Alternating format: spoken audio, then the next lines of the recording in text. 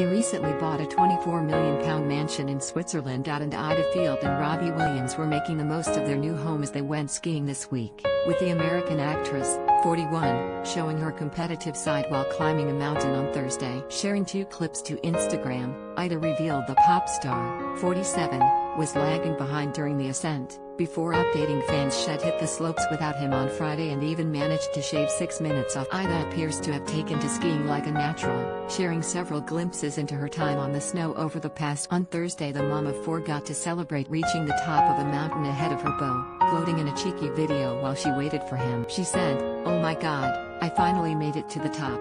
It's taken me about an hour's totally wiped out but I did it and here's the mountain thank you. Not gonna lie, the pop star is way behind me. So if you're watching this Robbie Williams, in your face. And the next day Ayda was able to share her success again as she managed to take an impressive 6 minutes off her time getting to the top. The beauty explained, I did it again. 54 minutes and 27 seconds, which is 6 minutes faster than yesterday but him that much more. And I can't decide if ego is a good or a bad thing because if it weren't for ego I wouldn't have gone that fast. I'm just gonna breathe right now. Dot In the caption to Ayda revealed Shed left her husband at home for the ascent, using the hashtag Robbie Williams refused to come and a few laughing emoji. The achievement seems even more impressive after Ayda revealed Shed never been skiing before on Wednesday as she shared a stunning snap of herself all kitted out in snow gear on her skis and penned, so this happened for the first time. It comes after the proud parents marked their son Beau's first birthday on Friday with a selection of heartwarming family snaps from their new £24 million man. Taking to her Instagram, Ayda documented the happy day with pictures of Beau with his dad and older sister Teddy, 8, as she declared the tot has been our and it was clear that the couple pulled out all the stops for the little boy, with images showing the room filled with blue,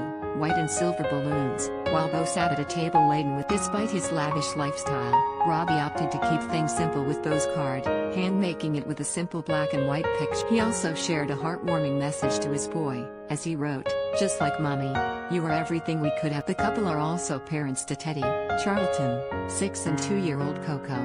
Meanwhile, Former Loose Women star Ayda penned an emotional tribute to her baby boy in which she called him the total completion of our family and the best thing to come out of 2020. Alongside a snap of Robbie pulling a grumpy face while holding their son, she wrote, at Robbie Williams' face after I told him I wanted one more bit. Beau. We dreamed about you for years before we finally met you, exactly one year ago today. From the seat of our hopes, to the smiling, gorgeous boy we are blessed enough to love today, you have been our miracle the total completion of our family, and the best thing to come out of 20. Thank you for answering our call to the universe. We love you with all our hearts combined. Happy first birthday, Beau, Heart, Mommy, Daddy, Teddy, Charlie, and Coco 4X.